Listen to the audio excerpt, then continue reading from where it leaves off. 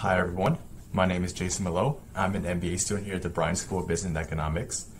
Um, as a first generation master's student, I currently work as a graduate office assistant in the Office of External Affairs. I help with company spotlights and I help with recruitment projects. So I chose the Bryan School because of the affordable tuition and convenient location.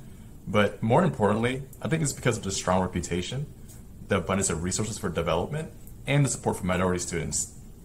So the MBA program also appealed to me for a chance to connect with experienced professionals, both peers and faculty.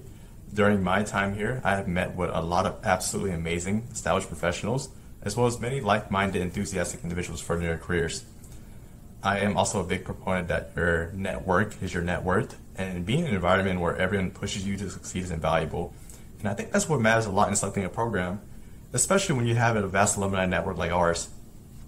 In addition to conclude, for many people who may find public speaking challenging, I can say that the Bryan School has created a welcoming space that, you know, both encourages curiosity and growth, which is the ultimate reason why I believe in the Bryan School.